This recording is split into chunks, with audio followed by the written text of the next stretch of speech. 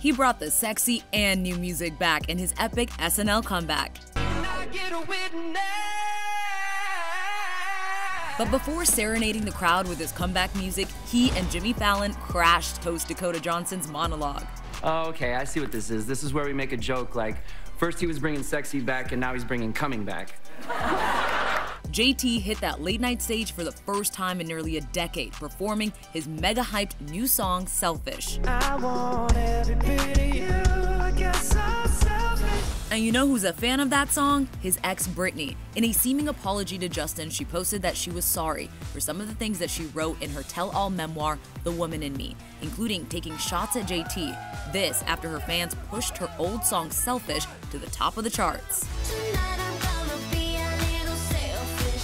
But she was more selfless than selfish, and she must have been watching SNL because she said this about the song he debuted on SNL. Sanctified is wow, too. Both new songs are from his upcoming album, his first release in more than five years. Justin's musical night, a reunion with Dakota nearly 13 years in the making. We were actually in a movie together called The Social Network. I'm an entrepreneur. You're unemployed. I wouldn't say that. What would you say? That I'm an entrepreneur. Justin also reunited with this good friend and late night host. And I want to talk to you. He and Jimmy Fallon even brought back their iconic SNL BG skit. You will call me Sir Barry Gibb. I was knighted in 2018 for outstanding contributions to the music industry. The cast celebrated JT's return and Dakota's big hosting night. It's just crazy to be standing so close to someone who would become the most powerful person in America. The all star after party included Dakota's famous mom, Melanie Griffith, and former stepdad, Antonio Banderas, along with famous friends like Demi Moore.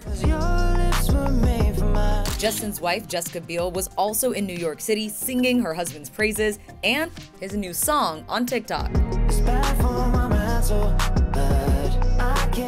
And Justin's not done with New York. He'll perform a special concert in the city this Wednesday on his 43rd birthday. There's a lot of fun on this record. There's this a lot of tempo and a lot of fun on this Yeah. record. JT spoke with Apple Music One's Zane Lowe about his new music.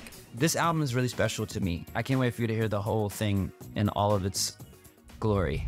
Everything I Thought It Was drops March 15th.